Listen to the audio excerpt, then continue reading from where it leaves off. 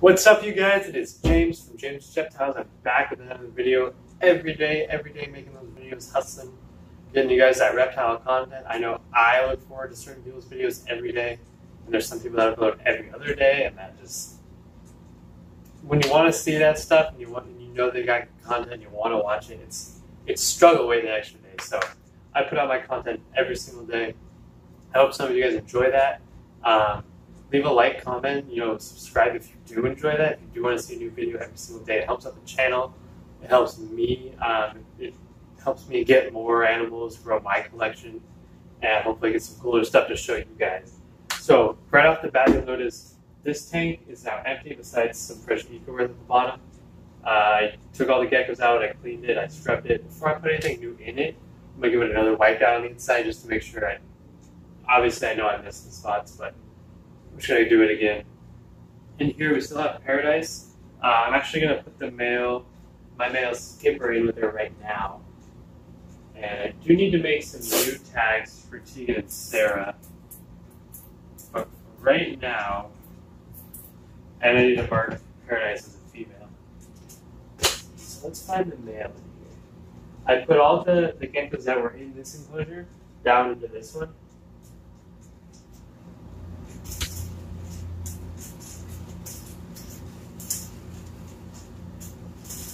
Just like that, there's my male.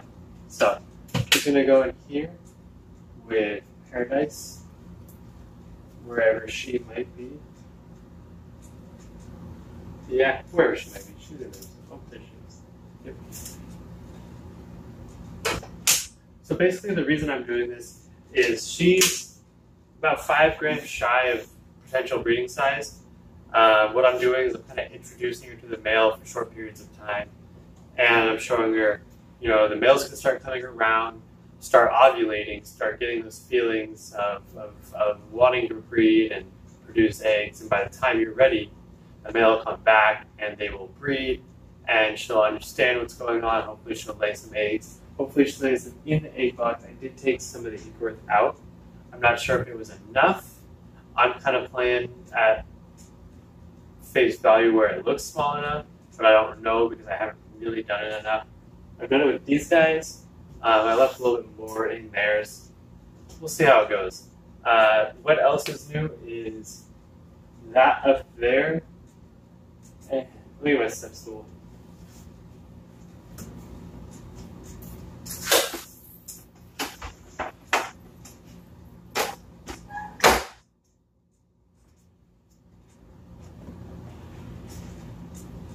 Oh, why is it tiny? Oh, that's why. Put a water bottle on top so they wouldn't escape. So when you when you're using tubs like I am that don't have super secure clamped lids, uh, one thing you want to do is you might want to weigh it down. And I just stack my tubs and I put whatever's heavy on the top one. It's usually some kind of water bottle, some spray bottles or whatever. They do tend to leak a little bit, but the snake isn't new by any means. Well, it is new because I've only had it for a couple weeks. This is Esmeralda, my female Vietnamese blue beauty snake, blue beauty rat snake and I'm trying to get her out here.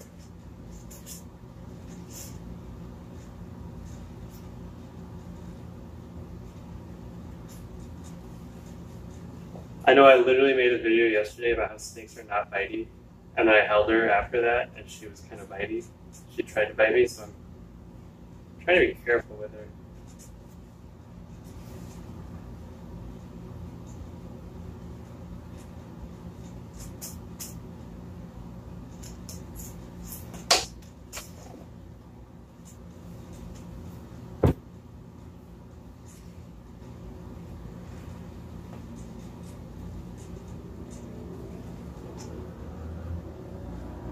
Power of editing, just like that, I have her out. Uh, so nothing's new with her. She's doing fine. You know, she ate Saturday just like I wanted her to, not off the tongs, unfortunately. Hopefully, we'll get her there soon where she has that nice, good feeding response. But I just want to take a look at her cage. Um, Vietnamese blue beauty rat snakes are large, not arboreal, but they do like to climb snakes. So what I did in her enclosure is I took a couple of the air holes and I stuck some plants in them and it's just a little bit of foliage. It's just a little bit of foliage. Uh, it helps her feel secure, blocks out any light, um, and it gives her just a little bit of something to climb on. I don't know why she's being so bitey. But if you watched yesterday's video, she just bit me. I barely felt anything, and obviously it's not bleeding. Uh, but I really need to get her, if she's going to start biting like that, I need to get her tamed down before she gets any bigger. Uh, I don't want to take a bite from a snake any bigger than this. It's, it's not fun. It's not the end of the world, obviously, but it's not enjoyable. And I do want Esmeralda to be an animal I can take to expos and hold and let other people hold. Uh, it's she's such she's gonna end up being such a large, beautiful snake that I just, just something I want to show off. And if she's gonna be bitey, it's gonna be really hard to do that. So hopefully we can calm that down and get her to be less bitey. I'm not sure why she's doing that, but I gotta change her water line while I'm right here.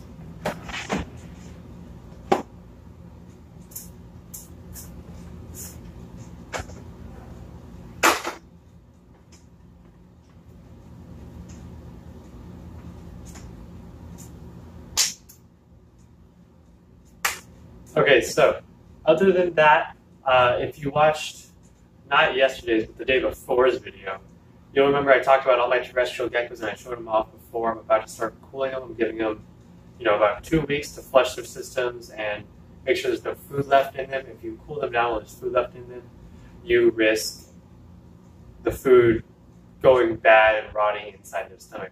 Now, when I did that, I actually forgot to show you a couple of geckos because they were in a tub that wasn't labeled.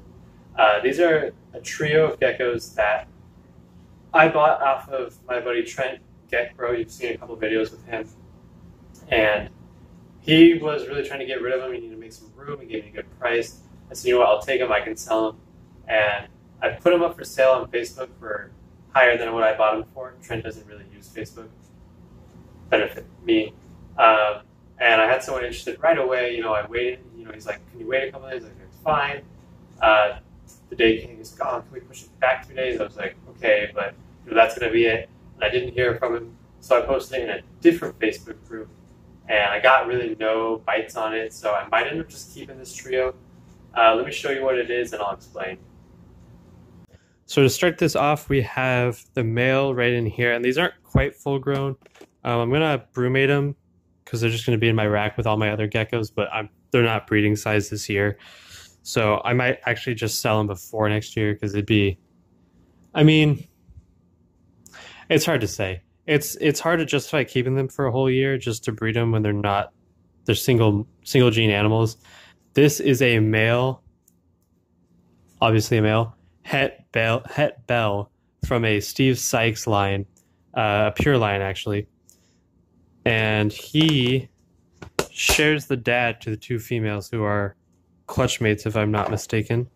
Now these two females, now, now these two females are bell females from a pure bell line, and a Pure Bell Steve Sykes bloodline, and they don't have any tail kinks. Now, what's exciting about that is I really hate tail kinks. Um, there's a lot of controversy and talk about if they're genetic and if they actually like harm the animal in any kind of way. Let me put that to rest because I know a lot about leopard geckos and tail kinks, and I work with them every day. Tail kinks are genetic. If you have a gecko with tail kinks and you if you breed a bunch of geckos with tail kinks, odds are you're only going to get geckos with tail kinks. If you breed without them, you're probably not going to get them unless they're mixed in that bloodline. Then you might get a couple. Um, tail kinks are really bad because the tail is connected to the spine. So if you're starting to get tail kinks, you're more likely going to run into back kinks. And back kinks are where you have to start euthanizing or selling animals as pets only. There's a dang fly in my living room interested in these geckos. Um, so it's all connected. I've seen it. There are a lot of people who say back kinks only happen when there's problems incubating. That's not the case most of the time. Yes, they can actually uh, occur quite often if there's trouble incubating, but a lot of it is genetic. If you look at, I think it's caramel ball pythons that get a lot of kinks. That's genetic. Caramel ball pythons have been inbred so much that they they have back kinks, and it's just something that keeps getting passed on. Hopefully, I can keep these guys pure. And what I'll end up doing if I do end up breeding them in a year is I will make all females, unless I have a male incubator, then I might make a couple males. Uh, I will keep the biggest, the healthiest, the nicest females back, probably like two to three. And then I'll end up selling the male and buying a new male and what I'll probably end up buying is a snow bell so I can then produce 100% bells with 50% chance of snow instead of 50% chance het bell, 50% chance bell. And it's all just working up the ladder and what, what you can do at the time. And these projects take time. These projects take years and years to do and to understand. I'm lucky that I understand everything. You know, I've been taught very well with, you know, I've been shown papers and templates and all sorts of stuff that tells me exactly how everything works. And I've understood it well, so I know how it all works. Uh, hopefully, I can breed these guys. I might end up just just selling just the male and just buying a new male, so I can just skip that first year of waiting and produce some snow bells right away, or possibly some white and yellow bells. If you have an opinion, let me know. White and yellow would be really nice, but it'd be more expensive than a snow bell and I would probably get it through where I work just because I get a discount and it would be cheaper. Alright, so today's video wasn't anything too spectacular, just a few updates and a few uh, checking on some animals. Um, I really hope you guys learned something and enjoyed some of the animals that I showed you. My name is James from James Reptiles. You can follow me on Instagram, Twitter, Facebook is James Welter james.reptiles at gmail.com. If you have any questions, if you need to get in contact with me, uh, make sure you like, comment, subscribe. We are a really small channel, and all that kind of helps us get the ball rolling. And as I produce more animals and I get nicer animals, hopefully it'll help us grow exponentially. So, nevertheless, I hope you guys enjoyed it. Have a good one.